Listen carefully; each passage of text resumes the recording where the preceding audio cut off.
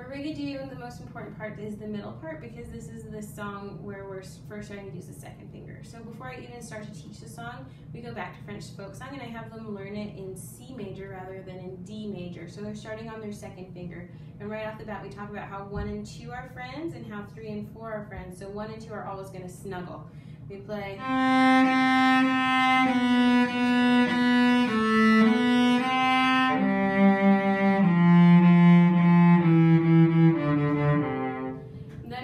Into Rigadoon and learn it by ear like normal. Sometimes I do the middle section with the twos first because that's what the most familiar to them after playing the um, French folk song in C major. So we're gonna play stretch. They have to stretch that fourth, fourth finger now, even though it's not an extension, because we're getting used to now snuggling one and two, they're gonna have to reach further than they're used to.